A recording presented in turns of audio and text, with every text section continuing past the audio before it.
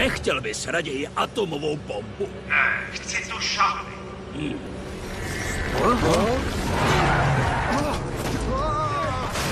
Francie darovala Americe sochu svobody roku 1886. Gustav Eiffel postavil armatury zevnitř sochy.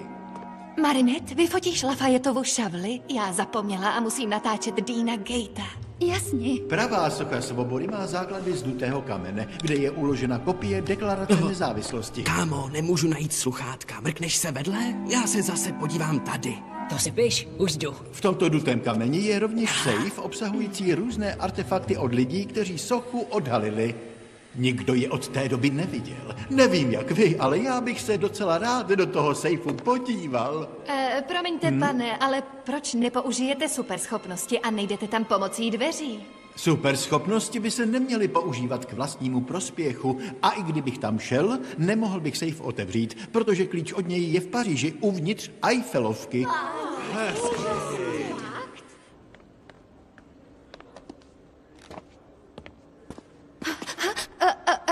Adriene? Marinette?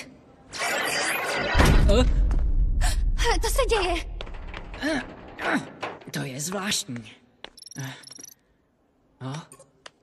Padouch posedlý akumou robustus šíří paniku v Paříži a po Houšce a Černém kocourovi ani stopy. Robustus? Markov ale nemůže řádit v Paříži. Je tady s námi v New Yorku.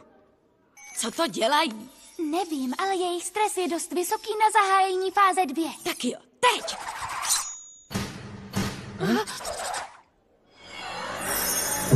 Já jsem samotář a jsem tu, abych zajal ty, koho nikdo nemiluje.